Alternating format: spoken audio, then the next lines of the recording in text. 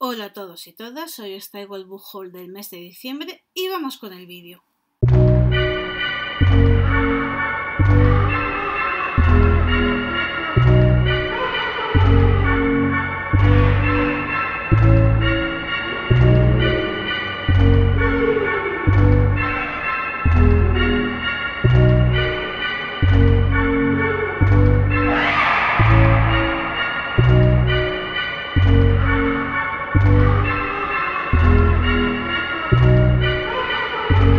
Este mes de diciembre he adquirido poquitos libros, ya que estoy intentando reducir todos los pendientes en papel.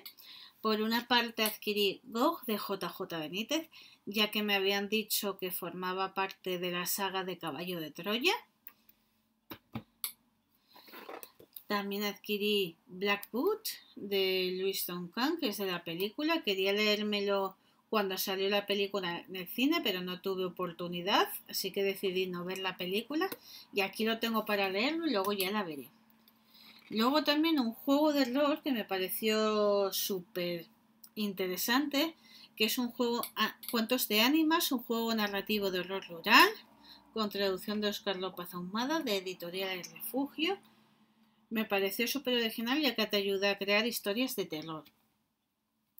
Aprovechando una oferta que estaban los libros a 2,95, cogí el tomo número 1 del manga Parasite de Hitoshi eh, Iwaki. No sé si se pronuncia así, ya que me pareció bastante original la sinopsis porque dice Shinichi, he aprendido sobre el demonio y los libros, y creo que el ser vivo más cercano a ese concepto es el propio ser humano.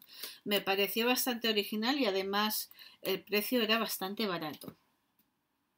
También he adquirido Las supervivientes de Lily, eh, Sager, que dice, para sobrevivir, para sobrevivir a un asesino necesitas instinto asesino. Me pareció bastante original.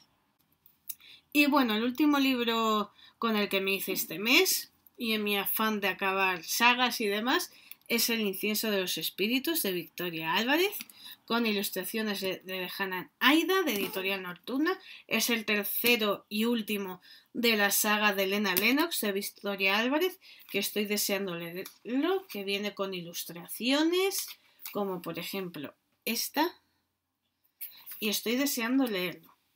Y bueno, este mes ha habido muy poquitos libros, pero bueno, como siempre espero que os haya gustado el vídeo, que le deis a mi gusto, suscribáis a mi canal y lo compartáis en todas vuestras redes sociales y muchísimas gracias por estar ahí.